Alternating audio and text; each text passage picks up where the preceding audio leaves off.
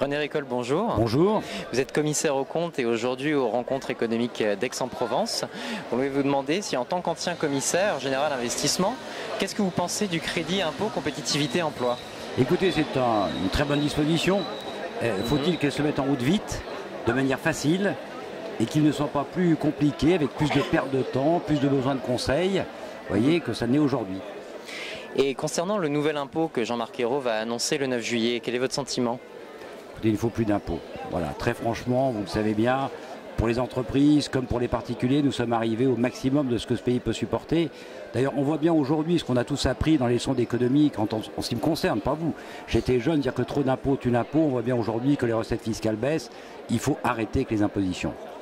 Et alors maintenant, on peut se poser la question, comment réindustrialiser aujourd'hui vu le coût de l'énergie? Le coût de l'énergie, c'est évidemment important, mais vous savez, ce n'est pas tout le coût de l'énergie. C'est stupide de ne pas essayer d'utiliser une gage de schiste, par exemple. Mais ce qui est encore de plus important avant tout, c'est de faire en sorte que les grands groupes ne quittent pas, en termes de centre d'intérêt, ne quittent pas la France des yeux. Or aujourd'hui, les grands groupes, ils partent, leurs comités exécutifs partent.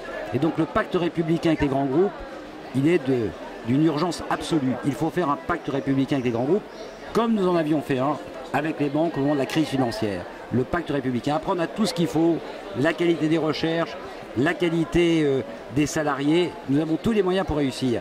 Faut-il que notre seul point fort réel aujourd'hui, qui est la taille de nos grands groupes mondiaux, capables de drainer à eux beaucoup d'activités et d'aider leur pays, faut-il qu'on arrête de les décourager et de les maltraiter? René Ricole, je vous remercie. Merci.